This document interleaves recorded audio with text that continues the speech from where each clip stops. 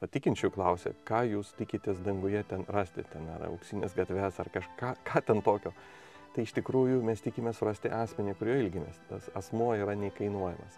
Toks abromiškas tikėjimas veikęs meilė, jo užtenka, kad Dievas laikytų žmogų teisiu, tai yra savo šeimos tinkamų narių ir draugų. Tikėjimas kyla iš reakcijos į asmenį. Pirmiausia, yra, tai yra, kadangi aš tikiu, kad Dievas nemeluoja, todėl aš žinau, jo teiginiai yra teisingi.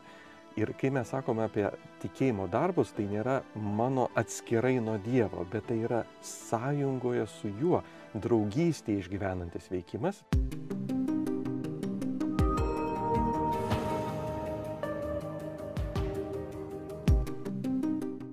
Sveiki, mėly klausytojai ir žiūrovai. Žiūrintis į mus, beje, šį kartą iš viršaus, mes ir vėl Marijos radijos studijoje Kaune. Mano vardas Laurinas Jacevičius. Esu čia kaip ir įprasta su Vytauto didžiojo universiteto docentu Pauliumi Čerkas. Sveiki, Pauliu. Sveiki. Aptarinėjame Biblijos slėpinius, konkrečiai pradžios knygą esame prižygiavę jau 15 skyrių. Viską, ką esate praleidę, galite atrasti ir Marijos radio grojaraštyje, bet taip pat ir apologetika.lt YouTube kanale prie tinklalaidžių Biblijos slėpiniai. Ten mus ne tik išgirsite, bet ir pamatysite, jeigu jūs tai domina. Beje, šitą kanalą raginu, kaip visada, ir užsiprenumeruoti, paspausti nykštį, jeigu jums patiko apie tai, ką mes e, kalbame, arba priešingai, jeigu nepatiko, taip pat reaguoti komentarais, kadangi tai tikrai padeda YouTube algoritmui, kad mus išgirstų ir pamatytų masės žmonių Lietuvoje ir svetur lietuviškai šnekančių. Um, pradžios knygos 15 skyrius. Uh, ką pamandom padaryti, mes tai paskaityti po, uh, paskaityti po visą skyrių arba jo gabaliukus ir tada aptarinėti tai, ką esame perskaitę. Tai aš pabandysiu paskaityti, kažkur staptelsiu kažkurioje vietoje ir tada bandysim aptarinėti. Nebent yra patarimas, Pauliu, kurioje vietoje būtų galima staptelti. Nu, pajausi gal. Gerai. Bandom. Pradžios knyga, 15 skyrius nuo pirmos eilutės. Po šių įvykių Abromas matė regėjimą ir pasigirdo viešpatė žodis. Jis tarė, nebijok Abromai, aš tavo skydas, tavo atpildas bus labai didelis. Bet Abromas atsakė viešpatė Dieve, kas man iš tavo dovanų, nes aš liku bevaikis ir mano namų įpėdinis yra damaskėtis Elezeras. Abromas pridūrė, palikonio man nedavėjai, todėl vergas gimęs mano namuose bus mano įpėdinis. Ir štai išgirdo jis viešpatė žodį, jis nebus tavo paveldėtojas tavo paveldėtojas gims iš tavęs paties. Išvedęs į laukan tęsė, pažvelk į dangų ir suskaičiuok žvaigždės, jei gali jas suskaičiuoti. Po to tarė, tokie gausus bus tavo palikonis. Jis patikėjo viešpačiu ir tai jam viešpats įskaitė teisumu. Pajaučiau, kad čia reikia sustoti. Čia tikrai reikia sustoti. Daug dalykų uh, yra čia apkalbėta, bet du tokie esminiai. Tai yra viešpaties pažadas uh, Abromui, kuris yra bevaikis, neturi vaikų, yra senyvo amžiaus ir tų vaikų negali susilaukti, taip pat ir jo žmona Sara, Saraja tuo metu. Ir viešpats duoda jam pažadą, kad tu turėsi palikonį, tiksliau tų palikonių bus labai daug, tiek kiek žvaigždžių danguje, dar daugiau jų. Tai pabandykim pakalbėti apie šitą pažadą, truputį gal priminti Abromo prieš istoriją, kodėl tai yra svarbu ir ko čia dabar tikisi ir ko jis negali patikėti, o tada jau kalbėsime apie tikėjimą. Mes esam situacijoje, ar ne, po kovos tarp penkių ir keturių karalių, kuomet Abromas, gelbėdamas savo lotą, įsimaišo, rizikuoja savimi ir išgelbėja lotą, jo šeimą, apgina, galima pasakyti, savo kaimynus, visą savo turtą, karo grobį, kurį jisai deramai turbūt galėjo pasilaikyti pagal to meto papročius, jis gražina pirminiam savininkams ir lieka lik ir be nieko.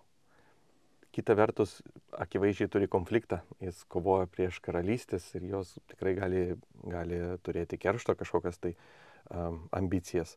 Nes mes matom pirmą Dievo kreipinį nebijok. Akivaizdu, kad e, šioje situacijoje Abromui atrodo, kad jis yra nesaugus. Na, taip, jį lydėjo sėkmė, bet uh, panašu, kad perspektyvai gali laukti rizika aš esu tavo skydas ir atpildas. Tai atpildas turbūt susišaukė su tuo, kad Abromas nieko savo nepasėmė ir viską išdalino. Jis elgėsi iš tikrųjų meilė, rizikavo dėl savo sunieno, rizikavo dėl vietinių gyventojų, viską jiems sugražinės. Ir Dievas įdomu, kad pasakė, kad esu savo atpildas tada, kai Abromas jau buvo daug ką atidavęs, nebuvo gopšus, nebuvo, na, sakykime, nukreipęs į save savo pirštus. O skydas tai yra ta apsaugos momentas, ar ne, kuomet jam grėsė turbūt atsakomieji smūgiai ir jisai pergyveno, ar jis gali būti saugus. Tai va taip prasideda šitas pokalbis. Jis yra su nerimime ir tai atrodo normalu. Dievas jį pagodžia, sakydamas, kad taip tu daug praradai, tačiau tu atrasi daug daugiau. Ir įdomu, kad jis neįvardina, ką jis konkrečiai duos. Jis pasako, kad aš esu tai, ką tu gausi. Ir dažnai patikinčių klausia, ką jūs tikitės danguje ten rasti, ten ar auksinės gatves, ar kažką ką ten tokio. Tai iš tikrųjų mes tikime surasti asmenį, kurio ilgimės. Tas asmuo yra nekainuojamas. Santykis su juo yra nekainuojama. Ne, ne kažkokie tai dangiški turtai kaip tokie, bet asmuo, kur, kurio mes laukiame. Ir štai čia yra aš esu skydas ir aš esu atlygis. Įdomu yra, kad Abraomas pasako, kad jis yra atlygis. Ir tada, Dievas pasako. Tai. Dievas. Jo. Bet čia parašyta, kad tavo atpildas bus labai didelis, kurioje vietoje jisai sako, Na, kad aš būsiu. Nebijok, aš esu tavo skydas ir tavo atlygis labai didelis. Tai turėjom omeny, kad aš esu tas atlygis. Mhm. Bet čia mes jau vėliau įsiaiškinam, kol kas dar nėra taip ir aišku šito teiginio, kad tavo taip. atpildas bus labai didelis, tai kas tas per atpildas.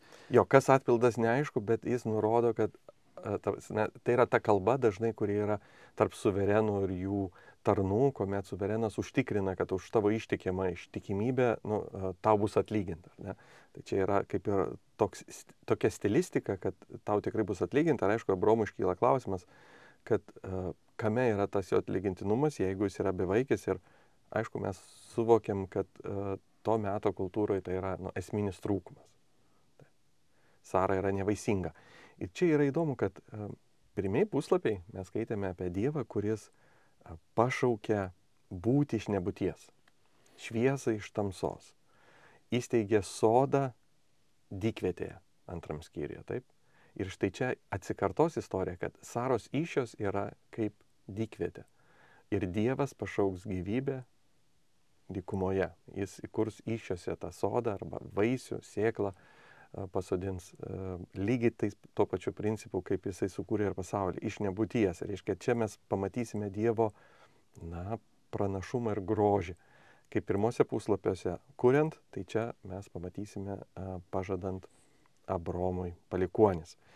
Va, ir tekstas yra sudėtingas hebrajiškas, kas tas yra e, vergas gimęs namuose iki galo e, tyrėjim yra neaišku, bet galim turbūt nujausti, kad to meto kultūroje, jeigu šeimininkas neturėjo palikonių, tai mm, na, visas tas jo ūkis mm, turi būti perdotas vyriausiam, sakykime, tarnui ir jis gali būti techniškai siūnytas tam reikalui, bet iš principo na, jis nėra tikrasis sunus. Tai uh, Abromas kalba, kad panašu, viskas yra panašu į tai, kad galbūt Lotas buvo kažkiek šansų, kad bus tas asmo, bet panašu, kad Lotas atsiskyrė ir šiuo atveju belieka na, Abromui kaip ir jo, reiškia, um, vyriausias tarnas, kaip tas, kuris paveldės. Ir jis sako, ar tai tikrai yra tas didelis atlygis tada?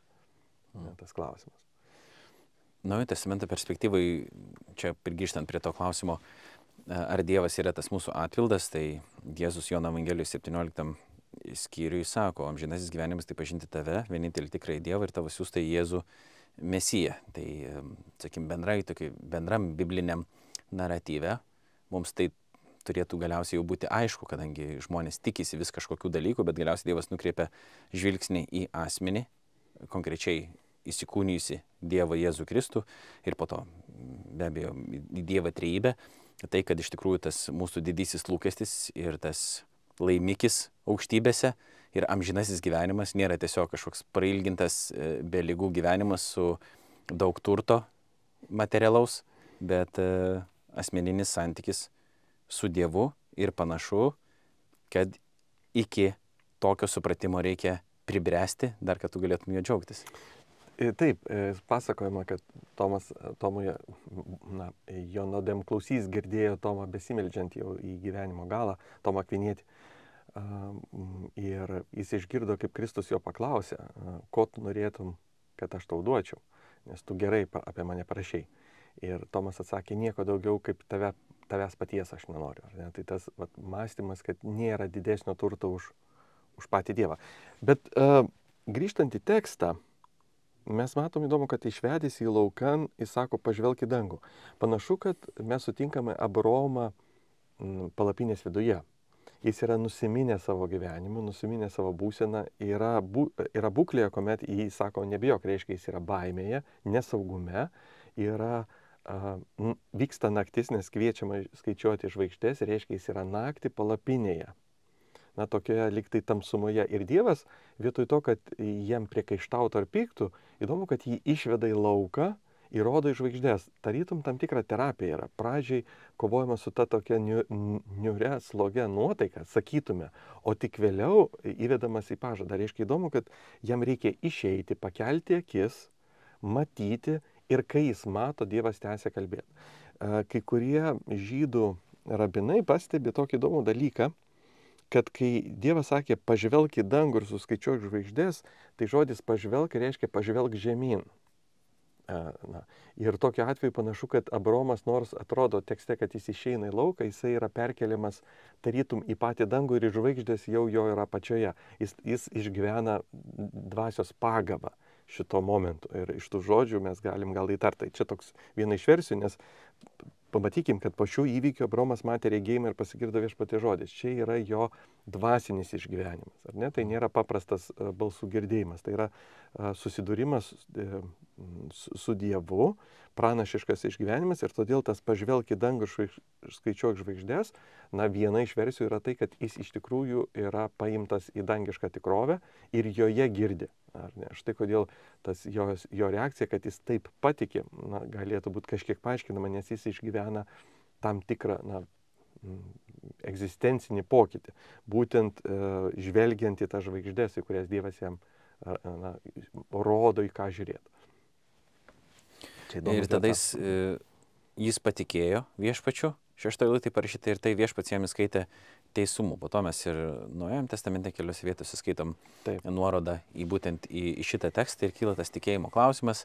Tada amžina diskusija e, e, tarp konfesinė, tada kas yra tikėjimas ir, ir kas teisumas. Ir kas yra teisumas ir kaip darbai yra su to susiję, tada Jokūbo laiško Taip. interpretacija tikėjimo ir darbų, kas yra pirmiau, kas yra kitaip, tada įvairios neteisingos interpretacijos to, ką sako kita, nebūtinai kita, bet e, pusė, bet ar priešinga, bet e, tam tikra kita denominacija e, ar kitas krikščionis. Ir tikrai daug tų diskusijų yra, bet yra ir nemažai tokio bendro sutarimo. Kalbant apie tai, bet mes žiūrėdami dabar konkrečiai į šitą tekstą, dar nešokdami į priekį ir neinterpretuojant po to, kas buvo, nors legitimi tai yra prieiga, tiesiog interpretuoti po to vėles, ankstyvesnius tekstus vėlesniais, kai mums yra jau įkvėpti autoriai paaiškina, tarsi kas buvo prieš tai.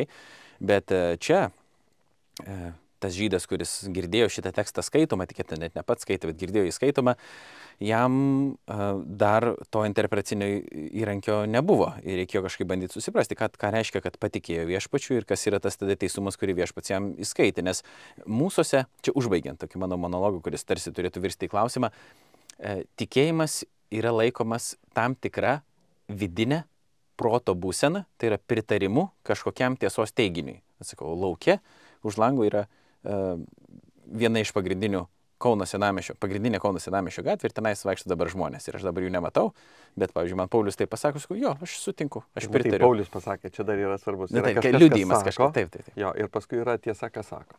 Bet mintis jo yra tokia, kad tiesiog mes tik, apie tikėjimą linkę esame mąstyti taip, kad kažkas pasakė kažkokį teiginį, arba mes išgirdom, arba suformulavom patys tą teiginį apie tikrovę ir tada sakom, taip, aš tikiu, va taip, taip yra. Ir čia yra tikėjimas. Bet Biblinis tikėjimas panašu yra daug daugiau negu tai, nors šita dalis irgi egzistuoja. Tai, a, tai čia vienas dalykas. Ir tada teisumas. Iš to tikėjimo kažkaip kyla teisumas iš šito dalyko, ar tai proto pritarimu, ar tai kažkokio veiksmo, kyla teisumas, kurį viešpats užskaito, bet ką ta, ta teisumas duoda. Mes dažnai surišam tą teisumą su to, kad tada reiškia, e, Dievas mane priims į savo artumą dėl to, kad aš esu teisus jau jo akise. Ir mano skola yra atpirkta, nuodėmė skola ir taip toliau. Taip, pabandom pagvildenti šitą situaciją. Iš tikrųjų, sakykime, tai, tai labai žinoma ištara švento rašto ir daug kartų ją atkartojama. Kad ir ką jį bereikštų, visi sutinka, kad abromiškas tikėjimas yra tai, ko mes turėtume norėti ir jo mums tikrai užtenka, kad patikti Dievui. Klausimas yra, kas jis toks yra, bet, bet galėtume pasakyti, kad tas tikėjimas, kurį turėjo Bromas, jo mums tikrai yra gana, kad būtume teisūs Dievo akise. Ir autorius mums pasakoja apie Bromą, kuris išėjo, nežinodamas, kur eina, ar ne, jis iškojo miesto, jau tada pasireiškė jo tikėjimas. Jis paliko uh, žinomą civilizaciją, saugų gyvenimą, išėjo nebūti, jau buvo tikėjimas. Čia mes antrą kartą sutinkam akivaizdžiai paties jau autoriaus į komentarą, kad Abromas ir dabar patikėjo, jog, jog jis, turėdamas nevaisingą žmoną ir būdamas senyvo amžiaus, kažkokiu būdu turės palikuonį. Ir Dievas tą jo pasitikėjimą įskaitė jam teisumu. Ir vėliau mes vėl sutiksime Abromą, kuris paprašytas Dievo paukoti savo brangiausią sūnų, nesviruodamas tai padarys, tikėdamas, kad Dievas tikrai prikels jį iš numirusių. Mes nu, galėsim pamatyti, kaip, kaip matėsi tas jo tikėjimas. Ir Jokūbas sako, tokiu būdu jis buvo atbaigtas. Reiškia, mes matom nuolat tikėjimą progresuojantį Abraomo gyvenime. Tai nebuvo vienkartinis įvykis. Ir jo santykis su Dievu irgi progresavo vienoks Abromas yra, kuomet jis išeina, kuomet jis dar gudrauja, atsimenat, Egipte, mano, kad e, yra kažkokie gudrų sprendimai ir visai kitokį mes jį na, stipriai perkistą matysime jau aukojant savo sūnų arba derintis dėl sklypo palaidoti Sarai. Koks jis bus kuklus, koks jis bus paprastas. E, iš tikrųjų, jame yra didelis pokytis ir toje pokytyje net vienoje vietoje Dievas pasieteis uh, pasikalbėti ir papasakoti, ką jis ketina daryti, e, parodys, kad jis yra jo artimas draugas. Tai teisumas yra tos draugystės ryšys, jisai leidžia uh, dviem asmenim vienas kitą laikyti ištikimais draugais. Ir draugystė yra progresuojantis įvykis. Tai Abromo asmenyje tai progresavo, tai nebuvo vienas įvykis, vieną kartą įvykęs, bet tai nuolat plėt, plėtojosi ir vystėsi. Ir jo artumas Dievui taip pat progresavo. Jo draugystė su Dievu progresavo. Mm, kai kalbam apie tikėjimą, mes kalbam apie du, du dalykus - asmenį ir tiesą. Tikėjimas visada atliepia tam tikrą santykį su asmeniu ir su tiesa. Problema yra tai, kad dažniausiai vis tiek mes labiau linkia akcentuoti arba vieną arba kitą. Ir čia taip ir kartais atsitiko, kad viduramžiais buvo daugiausia diskutuojama uh, na, atsakant į tokį klausimą, ar tai, kuo aš bažnyčia tiki ir tai, ko proto, proto akis gali pamatyti, ar proto balsas a, a, suprasti, ar tai yra suderinama ar nesuderinama. Tai daugiau buvo akcentas į santykių į tą tiesą, į tą tikrovę, kurią pažįsta tikėjimas. Reformacijos aušroje atsirado akcentas labiau į asmenį. Tikėjimas yra atsidavimas kažkam ir iš to kylanti ištikimybė. Beje, graikiškai, hebrajiškai ir įdomu, kad ir lietuviškai žodis tikėti ir būti ištikimam irgi turi tą patį šaknį. Jis perdoda tai, kad jei aš tavim tikiu, aš esu tau ištikimas, nes tavim tikiu. Pasme, buvimas ištikimu todėl, kad laikau tave patikimu. Esu ištikimas, nes laikau tave patikimu. Tavo patikimumas iššaukia manyje reakciją kaip lojal, lojaliai ištikimybė. Reiškia, aš atsiduodu tam, ką laikau patikimu. Ir gavosi, kad daugiau akcentas kilo į šitą tikėjimo prigimtį. Kadangi kiekviena galbūt stovykla šiek tiek akcentavo kitą tikėjimo aspektą, na ir atsirado tos įtampos. Katalikiškoji pusė visada na, akcentavo tai, kad intelektualinis pritarimas tiesai nėra pakankamas tapti Dievo draugu, ar ne? Tai, kad tu pritari e, gražioms tikėjimo tiesoms, dar nepadaro, kad tu tikrai jos jiem lojalus. Tuo labiau, kad ir Jokūbo laiškai yra parašyta, jo. kad tik gerai darai, bet ir demonai tik ir dreba. Jo. Tai būtent jis kalba tą tikėjimo aspektą, kuris yra pritari tikėjimo tiesoms. Į tai yra iš tikrųjų tikėjimo aspektas. Judas, pavyzdžiui, laiškė sako, kovokite už vieną kartą šventiesiems perduotą tikėjimą. Ir mes suprantam, kad tikėjimas yra ta tiesų visuma, kuri yra pažinė apreiškimu. Taip, tai yra tikėjimas, santykis į tiesą. Bet tikėjimas Abromo istorijoje yra santykis į asmenį. Abromas patikėjo asmenį, kuris jam pasakė labai, galima sakyti, asmenišką dalyką. Ir jis patikėjo tuo savo širdimi. Dievas matė to jo tikėjimą. Ir tai buvo jo egzistencinis nu, ži, e, sprendimas. Ir čia patinka, Lorinai, tavo, tavo dažnai minimas, e, mėgstamas tavo autorius e, Kirkegoras, ar ne, ir jo tas šuolis į, į nežinę arba atsidavimas visko Dievo, ar ne, tai tas egzistencinis sprendimas. Ir tikėjimą tada supranti, kad tu antiek esi lojalus ir ištikimas asmeniui, kad juo pasitikė, ką jis be pasakytų Kitaip tariant, aš net nežinau, ką jis pasakys, aš jau esu pasiruošęs tuo tikėti.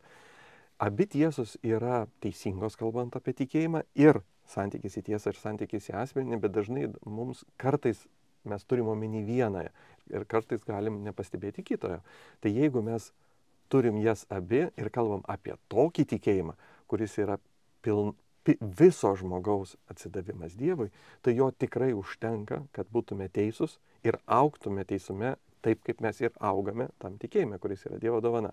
Čia porą e, iš katekizmo turbūt pasakysiu e, frazių, kurių na, gudriau neištarsiu, bet tikėjimas yra asmeninis viso žmogaus ryšys su apreiškiančiu Dievu. Ap... A, ir dar vieną frazę pačioj pradžioj. 150 punktas. Tikėjimas pirmiausia yra asmeniškas žmogaus ryšys su Dievu ir drauge nuo to neatskiriamas laisvas pritarimas visai Dievo priekštai tiesai. O tokie du dalykai ir ir. Ir asmeniškas ryšys, ir laisvas pritarimas tiesai. Ir kai matom tik vieną dalį, tada mes sakom, nu, to neužtenka. Pasme, tai tu, kad pritariai tiesai, dar turi ir gyventi pagal ją. Bet jeigu mes matom tą pirmą dalį, abromišką dalį, tą atsiduodančią, ištikimą, save aukojančią dalį, ypač meilė, o abromo gyvenimas buvo ne tik pilnas tikėjimo, bet ir meilė, ką jis elgėsi su Lotu, kaip jis jam atleido, kaip jis jam siūlė geresnę dalį, kaip jis už jį rizikavo, kaip jis atidavė Sodomos gyventojams nu, jų dalį. Ir, ir mes matysim daug kartų, kaip iš tikrųjų Abromas, kuris turėjo daug visko, visą tai nuolat išdalindavo ir nieko nesi, nesigviešydavo savo. Tai va toks abromiškas tikėjimas veikęs meilė, jo užtenka, kad Dievas laikytų žmogų teisiu, tai yra savo šeimos tinkamų narių ir draugų. Teisiu tai yra turinčių tinkamą statusą namuose. Tu esi reiškia namų pilnas šeimos, mes šiandien pasakytume tais laikais namų narys. Gerą santykį turintis. Reiškia, gerą santykį turintis. Aš įskaitau tau kaip gerą statusą turintis. Du klausimus. Tada viena, vienas, kuris kyla iš sekuliarios pasaulyje žiūros ir tokio tikėjimo, aš drįšiau sakyti, nesupratimo paties to termino, ką jisai reiškia. Pirmiausia, mm, kad tikėjimas yra vertinamas, kai kurių, ypatingai naujųjų ateistų buvo toks bandymas įtikinti mus, kad būtent taip ir yra, tik kad tikėjimas yra galvojimas, kad kažkaip yra, net kai nėra jokių įrodymų, argumentų ar pagrindo tam, arba netgi kai yra įrodymų priešingai. Ir nesinai mačiau e, Facebook'o sienai, man pasirodė e, toks klipukas, kurio vienas iš pasirodo mano Facebook draugų tiesiog buvo idėjas, tokios komediantės, kuri bandė ten sakyti, vat, tarsi aš kaip suprantu, jinai buvo krikščionė, sakė, sunkiausias, da, sunkiausias dalykas būnant krikščionė yra uh, būti visą laiką geresnių už visus. Um, tai visi pažvengia. Ir tada sako, vat, ir nuodėmė yra tokia hierarchija. Ten, iki santokinis seksas, po to iki santokinis gėjų seksas, tada santokinis gėjų seksas, aišku, jis juokiasi, ir tada kažkur pačiam, pačiam, pačiam viršui pati didžiausia nuodėmė jau pati, pati, pati, pati yra kritinis mąstymas. Bet jos atžvilgiu. Net jinai taip mastų. Galbūt jos tokia patirtis buvo, gal ir kažką, galbūt iš kažkur tai yra kilę, ar ne?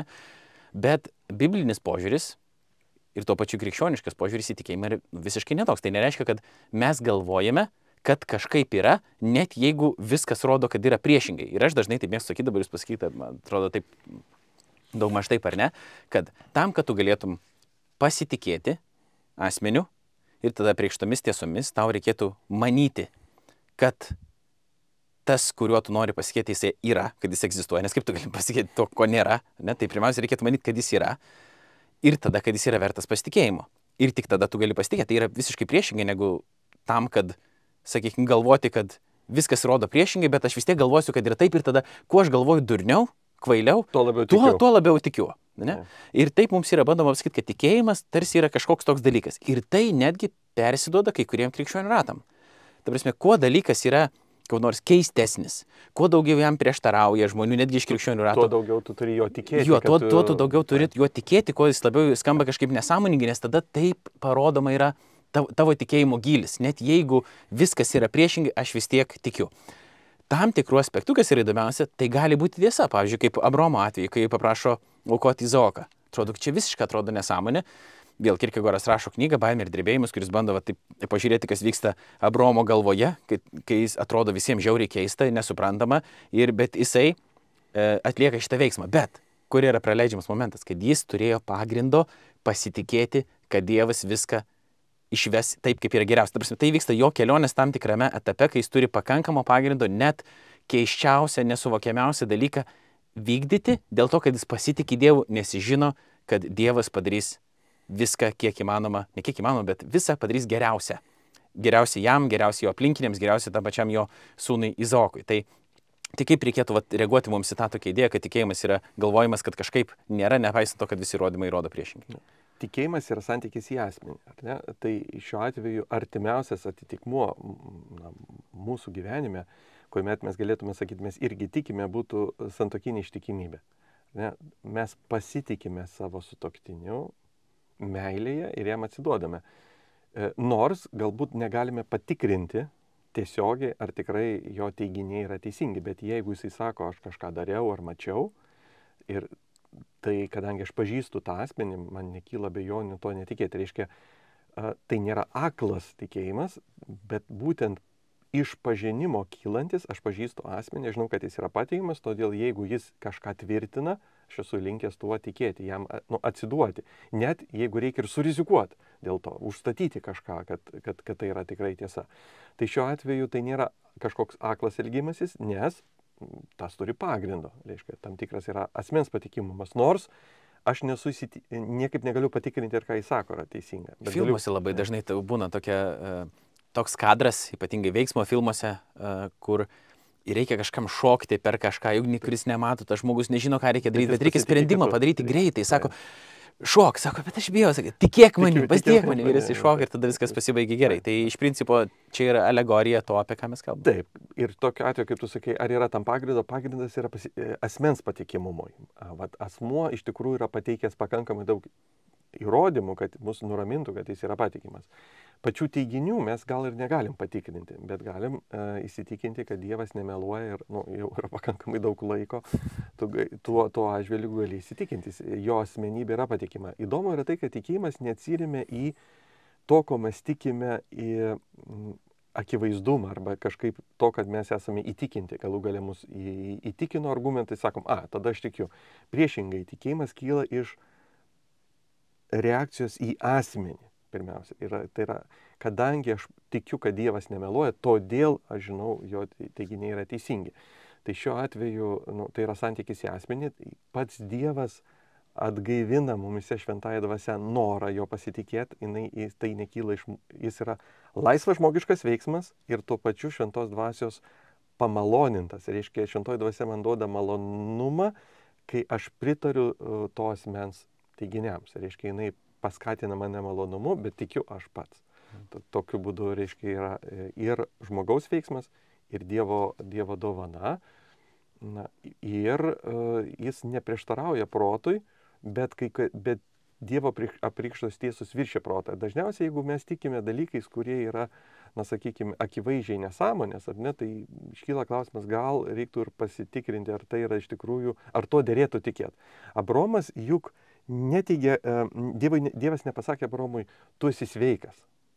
Ne tai buvo teiginys, jis pasakė, tu turėsi sūnų. Tai šiuo atveju Abromui nereikėjo sakyti, ne, ne, ne, Sara nebėra, e, nebėra e, na, serganti arba kad jinai yra vaisinga. Jis kažkaip mąstė, kad Dievas net ir toj situacijai ras sprendimą, bet jis neignoravo to, ką matė. Jam nereikėjo išduoti savo pažinimo. Čia tokia nuoroda yra į tokias patirtis, kurios ir man yra tekę būti, kai um, būna žmonės, kad ir iš geriausių intencijų, iš nuoširdžiausių intencijų, um, tikėjimą supranta kaip, va tokį, nors yra priešingai dabar, bet tu tikė, kad vis dėlto kažkaip yra šią sekundę Kitaip, ir tada jo. tu gausi tą dalyką. Pavyzdžiui, ten melžiasi už sveikatą ir ten kelis koks nors neveikia ir pasimeldžia ir sako, ar tau kelis, nu, pagyjo dabar, tu jauties kitaip. Sakau, ne. Bet sako, tu tikėk, tu tikėk, kad tu jau esi išgydytas. Ir tada, kai tu patikėsi, kad tu jau esi išgydytas, tada, tarsi, ta realybė kažkaip ats, apsireikš tavyje, e, jinai įgaus kūną tokį, bet tu turi tikėti, kad, aš galvoju, nu, man atrodo, kad ne visai kažkaip taip vyksta šitas dalykas. Čia yra toks tikėjimo iškreipimas, kad ir iš nuoširdžių tokių paskatų, nes tarsi, vat, tikėjimas prieš tam, kad tu matai uh, akivaizdžiai, nors vėlgi mes kalbame apie tai, kad tarsi uh, atrodytų bloga situacija kažkokia yra gyvenime ir tada Dievas sako, Jėzus sako, ne palaiminti yra vargdieniai, palaiminti yra neturteliai, palaiminti tie, kurie verkia ir taip toliau. galimas tas žodis versti kaip laimingi, bet iš principo, kad tai yra tai, į kokią būklę ateina Dievo palaiminimas ir tai yra iš principo gerai. Pati būklė nėra savaime gera, bet tai galima priimti kaip gerą dalyką dėl to, kad į tą situaciją ateina Dievo palaiminimas. Ir tada tu gali sakyti, bet, bet čia nesąmonė, čia, čia nėra palaiminimas, aš matau, kad viskas yra blogai, tai tarsi ir galima suprasti tai, kad ne, vis dėlto mums reikia pasitikėti, kad iš to Dievas gali kažką gero padaryti, nors situacija ir pati nėra gera, bet jeigu tai yra užlenkiama ir užlaužiama ir tampa uh, tokia kraštutinė situacija, kad tarsi melžiamės už išgydymą ir tau niekas nepasikeičia, bet tu tiesiog tikėk, nesvarbu, kad tavo ranka yra nutrūkusi ir jinai dar yra nutrūkusi, bet tu tiesiog galvo, kad jinai yra, tai čia jau atrodo yra perlenkta lasda. Tai yra, sakykime, tam tikra nueidžinė praktika dėja.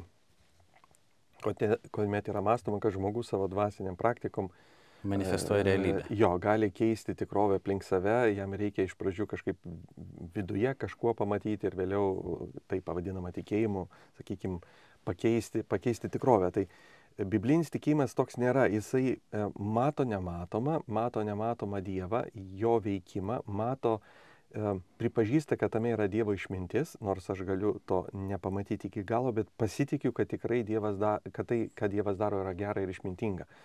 Ir pasitikiu, kad jis daro, nors nematau šiandien tiksliai ką. Tai čia ir kitoks momentas, tai yra pasitikėjimas asmeniu, kad jis manęs nepamiršo, kad jis tikrai veikia, kad, kad visa ta situacija yra jo priežiūroje ir jo globoje.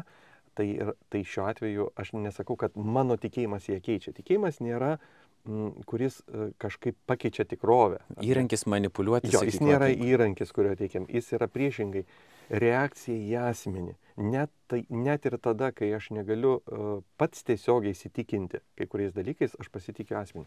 Nojus, mūsų prieš tai skaitytas, jis statė laivą, nors uh, pasitikėdamas, kad tikrai ateis tas potvinis ir šiuo metu jisai tikėjimas jo darė sprendimus, uh, vertė jį daryti dalykus, kurių jis dar nematė, bet, bet su baime ruošiasi ateinančiam Dievo teismui.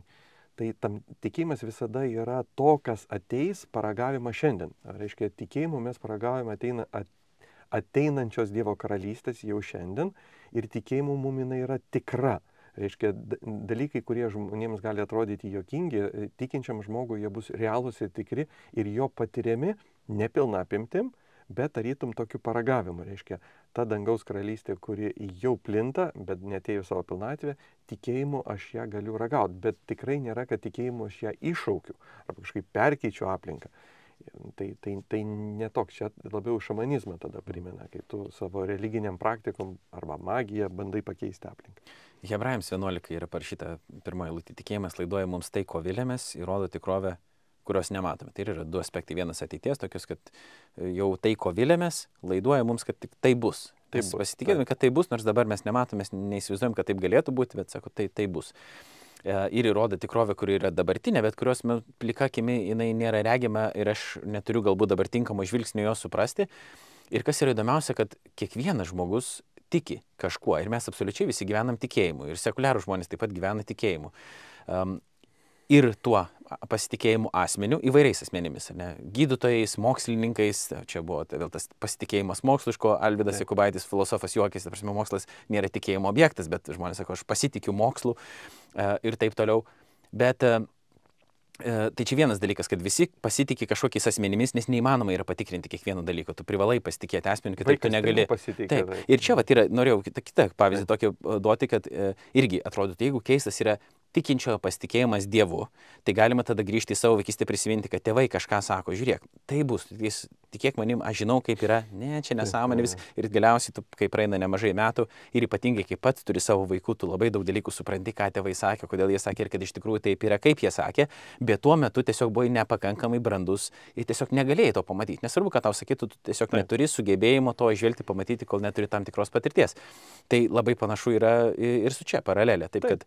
Kad, kad, kad tai tai nėra kažkoks tiesiog vat, e, vien maginiai, nesamoningi dalykai, kuriais mes tiesiog tikime, nes esame, labai norime būti kvaili tiesiog. Mums, kad ir kiek duoda įrodymas, iš žiauriai norim būti kvaili ir, ir, ir, ir tada tikime viską priešingai. Bet iš tikrųjų, kad pripažįstame savo proto ribotumą, pripažįstame savo patirties ribotumą, savo žmogišką ribotumą ir pasitikime tuo, kuris yra, jo toks vardas, Javė, Dievas, kuris yra ir kuriuo yra verta tikėti.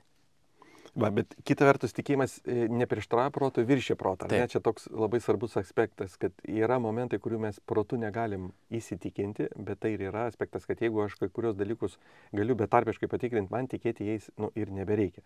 Beje, tikėjimas e, danguje pasibaigs, ar ne? Jis nebus reikalingas, nes e, tiesiog bus galima betarpiškai e, dalykus įsitikinti. ar Ne? Tikėjimas lieka šiai šiuo momentu, kuomet yra esi kelionė ir yra tam tikra uždanga, ar ne, kuomet mūsų meilės santykis kaip tik unikaliai bręsta, kai, kai tu na, sudarytos sąlygos tau pasikliaut.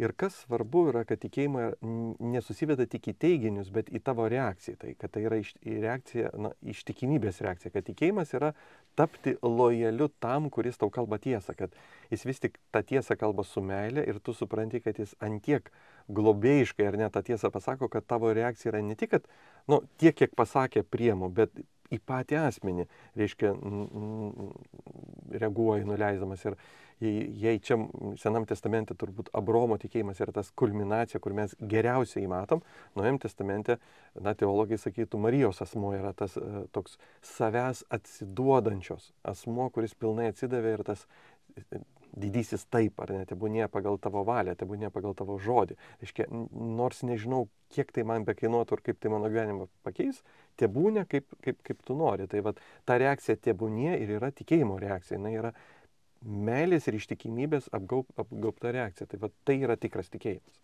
Tada.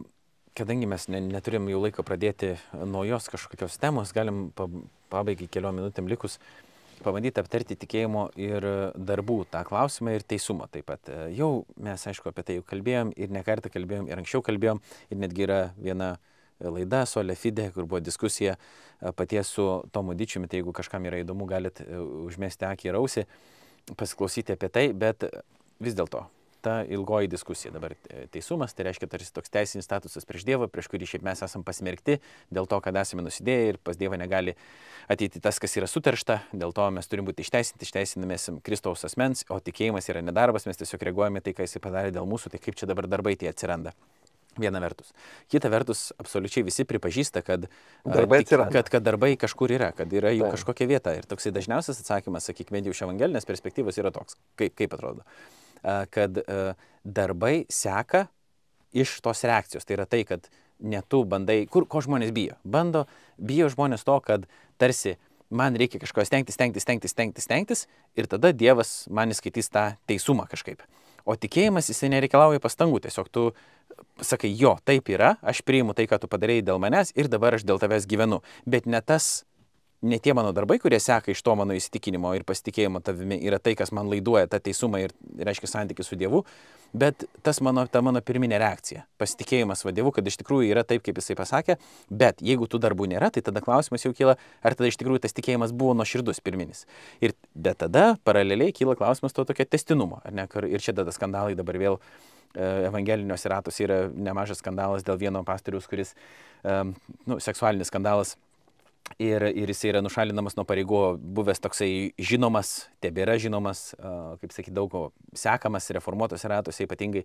Ir jisai, jo, yra tokia problema ir tada vėl klausimas, ką tada daryti su žmogum, kuris buvo, atrodo tikrai kaip tikėjimo toks pavyzdys daugam ir tada ką tą nuodėmė jo dabar padaro, ar jisai tada kažkaip niekada nebuvo tikintis, ar jisai čia laikinai atpuolė, ar tiesiog daug tokių klausimų į tą vieną gumulą susi, susimala, bet pagrindinis klausimas ir esminis yra toks jo, kur čia darbai, ką, ką jie daro tie darbai ir kaip žmonėms spręsti tą dilemą, kad vat, tada jeigu aš esu darbais, mano darbai yra tie, kurie įgalina mane būti priimtam prieš Dievą, tai tada žiauriai įtampa, kiek tų darbų reikia padaryti, kada jie baigėsi, o jeigu ne, tai tada kaip išeina taip, kad, nu, aš pritariau ir tada galiu gyventi kaip noriu. Irgi ne, taip neišeina, kad negaliu gyventi kaip noriu. Tai vad kaip visas šitas santykis vyksta. Jo, iš tikrųjų ta dilema, kad jeigu darbų kažkiek reikia, kažkokių darbų reikia padaryti, tada sako, pagarsinkit sąrašą, ko reikia, aš noriu būti priimtinas Dievui. Mes jau skaitėm, kad Bromas patikėjo Dievu ir buvo įskaityta teisumu ir jis buvo priimtinas Dievui. Kita vertus, pas Abromą tų darbų buvo nemažai, nuo pat pradžių jisai iškeliavo, jis ne tai, kad kažką tik mąstė palapinėje, bet jis iš tikrųjų ėjo, paliko, aukojo sūnų, nu, kovojo, rizikavo savimi, jis nuolat gyveno meilėje. Tai jo darbai buvo meilė ir jis nuolat augo savo santykė su Dievu. Ar jis galėjo aukti be tų darbų? Nu, panašu, kad ne. Meilėje mes negalim daryti progreso, jeigu iš tikrųjų nerizikuojam ir kažko nedarom. Darbai kyla iš mūsų atsidavimo ir ištikimybės, bet jie kildami veda į kažką dar gilesnį. Štai visa esmė yra, kad jie ir kyla, ir veda. Ir kai kalbam apie darbus, jie yra ir mūsų, ir Dievo e, tuo pačiu metu. Ir uh, pradžios knyga mums sako labai įdomų dalyką, kad tai, ką Dievas padarė, jis matė, kad tai buvo gera. Vienas Dievas daro, kas yra gera. Vėliau žmogui leidžia sudalyvauti tame, kas yra gera, kartu su juo tęsti, na, atbaigti kūrinį, ar ne? Ir tai bus gera tik todėl, kad Dievas vadina tai geru, nes tu darai kažką kartu su juo. Ir kai mes sakome apie tikėjimo darbus, tai nėra mano atskirai nuo Dievo, bet tai yra sąjungoje su juo, draugystėje išgyvenantis veikimas. Tokiu, tokiu atveju tas darbas yra tikrai Dievo ir tikrai mano, kadangi jis yra Dievo, jis yra geras. Geras yra ne todėl, kad jis etniškai, e, etiškai geras, bet todėl, kad jis yra su Dievu atliktas. Vienintelis Dievas yra geras, kaip Kristus sako. Jis ir pradžios knyga jim pasako, kad tik tai jis matė, kas yra gera. Jo darbai yra geri, nes jis yra iš tikrųjų geras. Bet jei aš dalyvauju jo darbuose kaip jo na, partneris, kaip jo draugas, tai tokiu atveju, ką aš darau kartu su juo, irgi yra gera. Tai va taip mes matome iš krikščioniškos perspektyvos, kas yra tie geri darbai. Geri darbai yra tie, kurie atlikti Dieve, nes tik jis vienas daro gerą nu, nėra nepriklausomi nuo jo. Ir tie darbai veda į gilesnį santykį. Reiškia, nėra tai, kad uh, tas teisumas yra uh, statiškas, bet kad jis yra be, bejudantis. Vat pateikiai pavyzdį apie žmogaus, kuris suklupo tarnystėje. Reiškia, jo santykis taip pat pašlyjo. Ir, ir iš kitos pusės mes skaitysim apie Bromo, kurio santykis nuolat gilėjo. Tai šiuo atveju nėra statiško santykio, kad uh, tik taip ir nei daugiau, nei mažiau. Ir problema yra, kad jeigu mes teisumą nagrinėjom tik kaip nuodėmių atleidimą, tada taip, tada mes įmatom, kad arba tavo atleistos nuodėmės ar ne, jos negali būti pusiau atleistos. Bet jeigu mes žiūrim į santykį ne tik kaip į nuodėmių atleidimą, bet kaip į kažką didingesnio, atleistos nuodėmės ir iš atstatytas santykis. Ir dažnai va tie palyginimai, kad žmogus ten uh, tarytum yra pažeidęs įstatymą ir ten teisėjas jam atleidžia kažkokius tai nusižengimus, dažniausiai pamokslininkai pateikia va tokį palyginimą, ar ne, kad mūsų išteisinimai, jie nėra visai yra pilni, nes teisumas kalba apie kažką didingesnio, apie grįžimą į šeimą. Sūnaus palaidūnas turėjo grįžti į šeimą, atstatyti santykiai. Čia nėra tik tai, kad atleidau ką pamiršai, bet dar tu turi atstatyti pilnai, ar ne, suaukti, tapti vėl draugu kaip su toktiniam susitaikyti. Čia nėra toks dalykas, kad atleidai, nu tai ir viskas. Ne, tu turi e, vėl iš Bet žmogui tada kyla tokia įtampa, kad e, kaip tada žinoti, tada, ar mane Dievas priima? Ar, tai aš, ar, aš esu, ar aš esu jau šeimoje ir aš esu nenupolis, nes aš tikrai grybauju kiekvieną dieną. Ir, tada, ir tai reiškia, ar aš tada pakankamai esu, sakykim, tose tikėjimo darbuose. Tai duotu atveju tu esi teisus, bet tu gali būti giliau teisus. Mm. Va čia esmė yra, kad tavo... Giliau teisus santykio prasme. prasme santykio prasme. Tu esi teisus, tu esi šeimoje, bet, tai, bet tu turi kur dar aukti. Na, nu, kaip ir satokiniai, jie yra santokia, jie yra vienas kitam atsidavę, bet jie gali vystytis. Bet, nu, sakykime, evangelija, man atrodo, čia dalis yra tokio galbūt ir lingvistinės problemos dėl to, Taip. kad evangeliniuose ratuose šitas procesas yra vadinamas šventėjimu. Šventė. Tai yra nuteisinamas arba išteisinimas tarsi jau prieš dievo, dievo akise, tu esi priimtas į šeimą tai. ir tuo pačiu esi išteisintas dėl to, kad Kristus dėl tavęs padarė. Reiškia, viskas tu jau turi, uh, kaip sakyti, prieigą prie Dievo, Dievas tave priima dėl, ne dėl tavęs, bet dėl to, ką, ką Kristus dėl tavęs padarė. Ir tada tu esi pašauktas šventėti, tai yra aukti tame santykėje su Dievu. Taip, kadangi iš praktinės pusės e, jo galima pavadinti ir kitų žodžių, e, svarbiausia, kad tai vyksta, štai kas mhm. svarbiausias dalykas. Katalikiškų požiūrių šventėjimas yra išvirkščia teisumo pusė. Tai yra tas pats dalykas, nu, kitų, kitų aspėjų, aspektų, bet vis tiek yra tas pats teisumas, kuris lygiai taip pat progresuoja. Kaip žmogus auga šeimoje, kaip medis auga ir neša vaisius, ta gyvybė didėja ar ne branda didėja, kad tai yra tas tas pats dalykas, santykis jis prasidėjo ir jis progresuoja, bet jame mano elgsena, vaidina vaidmenį. Jinai ir kyla iš santykio, ir veda į gilesnį santykį. Įdomu, na, kai atsimena, moteris atėjo pas, pas fariziejų Simono į namus, nusidėlė ir, ir dėkingumo ašaromis valė Jėzaus kojas ir piktinosi Simonas fariziejus, jisai sako, na, jeigu tai būtų pranašas, jis žinotų, kas ši per moteris leidžia ir tada Jėzus sako, aš turiu Simonui tau pasakyti vieną palyginimą. Vienas kreditorius turėjo du skolininkus, vienas 500, kitas 50 berots ar ne denaro. Buvo skolingas, negalėdami ne vienas iš jų gražinti, jis um, atleido jam abiem, kuris iš jų labiau mylės. Na ir jis atsako, na tas, kuriam daugiau dovanota. Uh, Lik ir taip. Ir sako, teisingai atsakėjai, Ir tada jis atsisuko į moterį ir pasakė, na, jinai parodė tą meilę, kadangi jinai daug mylė, jai daug dovanota. Ir staiga mes suklu, sunerimstam. Lik palyginimo buvo pasakyta, kad kam daugiau dovanota, tas daugiau myli, bet Jėzus užbaigė žodžius, kas daug myli, tam daug dovanota. Ir atrodo, kaip tai gali būti, bet iš tikrųjų vienas veda į kitą. Yra tas pirminis dovanojimas, kuris veda į didelę meilę, kuri vėl veda į gilesnį dovanojimą. Įdomu tai, kad po to palyginimo jis neatsisuka į Simoną ir nepasako, tau Simonai viskas yra atleista, nors jo palyginime buvo ir Simonas su 50 denaro. Jis atsisuka tik į tą moterį, kurį mylėjo ir pasako, tau atleista. Eik tikėjimas iš, išgelbė tave. Tai čia labai svarbus niuansas, kad Dievo atleidimas iššaukia manyje reakciją, kuri vėl iššaukia gilesnį mane keičiantį tą atleidimą. Nu, tai tokiu atveju štai yra mintis, kad tai nėra vienkartinis įvykis, kad Dievo atleidimas taip pat veda mane į mano didesnį dėkingumą, mano meilę, mano veikimą, kuris vėl veda į gilesnį perkeitimą to atleidimo.